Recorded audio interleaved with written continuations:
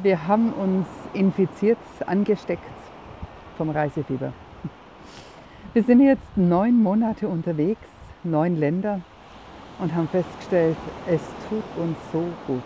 Es ist wunderschön, an diesen verschiedenen Orten auf der Welt zu sein, die Natur zu erleben, die Menschen zu erleben, das unterschiedliche Essen, die Zeit vor allem zu haben für uns. Es ist einfach rundum schön. So schön, dass wir gesagt haben, wir wollen weitermachen.